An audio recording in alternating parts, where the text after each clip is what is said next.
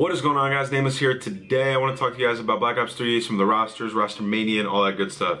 First off, I want to say, just got Halo 5. It's hella fun. It's what I've been playing, trying to pass time till Black Ops 3. I never realized how bored I am without Call of Duty because there's not a lot of stuff to do. So uh, whatever you guys have been doing, post in the comments below. Let me know if you guys are excited for Black Ops 3 and what games you guys have been playing. Personally, I've been playing Halo. It's been super fun. I enjoy playing it. But anyway, so yeah, there's been a lot of uh, stuff going down in the community, a lot of information getting passed around, stuff like that. Um, basically, there's been a couple roster changes. Um, as you guys know, I'm going to start off with uh, Censor announced that he's coming back. He is teaming alongside Apathy and Saints. So what that says is they're looking for one they don't have an org that they've said that they're going to play under yet. Um, I know that you can't have two teams next year, so I'm wondering if they're going to be, you know, not another FaZe team. I mean, they, they can't. So I don't know how that's going to work. So they're looking for one, and that also means TK needed one. So TK picked up Goonjar, back to the old TK squad. Um, they found a lot of success in Black Ops 2, so that's kind of, um, you know, that was a no-brainer. I knew that was going to happen or something along those lines. And um, hopefully that works out for them. They're a bunch of good dudes, and shout out to them. So hopefully they can, you know, turn up in the new game. Um, also, that means Elevate uh, broke up. There's a lot of, all the Elevate players dispersed. TJ, um, since he can't compete next year, their team broke up immediately after Worlds. And um, Saints joined with Apathy and Censor. They're looking for one, like I just said. And then uh, Octane and uh, Classic. It's Octane Classic, Slacked, and their fourth is Looney. So yeah, that's the that's Rise. That's a new Rise roster. They made their team before the new game. Um, Looney from Envious, you know, he went to Rise. Uh, Octane and Slack from Elevate, and then Classic from Denial. They are the new Rise team. And then um, that also left a gap on Envy. And Envy made a lot of roster changes as well. The only player left from their uh, Advanced Warfare team is JCap. It is now JCap, Slasher, Aches, and they're looking for one with Merk as a potential fourth. They're going to be running scrims with him.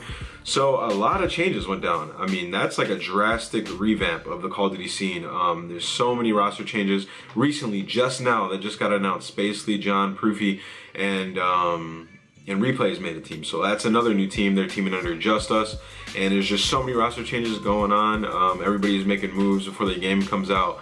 And um, the only teams that really are sticking together so far are FaZe and Optic. And I don't even know what our team is going to do. Like I said, you can't have two teams next year.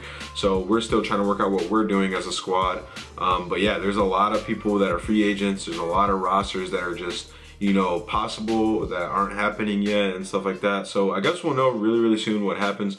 Um, I was never for the like making a team before the game, but it's looking like you're gonna have to at this point because all the rosters that are forming are really kind of leaving players out there and um, they're they're committing to these teams. So it's looking like you're gonna have to make a team going into the game and you know just to grind and get everything down because I'm fairly sure all the stuff's gonna start very very early for the World League. And um, moving on to my next topic, they're announcing all the World League stuff tomorrow on um, the ESWC live stream. Uh, there is, or not ESWC, excuse me, Paris uh, Games Week. It's not, I don't think it's ESWC. Either way, it's Paris Games Week. Um, a couple pros are there, Study, Crim, Replays, Mr. X Maven. They're all there, and um, they're announcing a lot of Black Ops 3 League information, and they said that they're also going to announce some maps.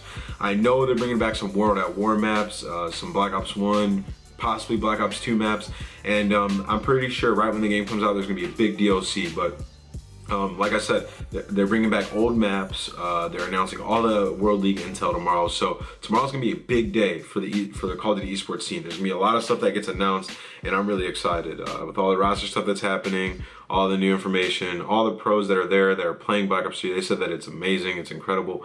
So I just can't wait, you know, to get my hands on the game and let alone find my team that I'm gonna be playing with. So uh, I'll be figuring all that out soon enough. I'll let you guys know right away when I know. And thank y'all for watching. Hope you enjoyed this video. If you did, please leave a like. I just wanted to keep you guys informed. Make sure you tune in tomorrow to the uh, Paris Games Week live stream so you can see all the information that gets dropped. And until next time, guys, peace.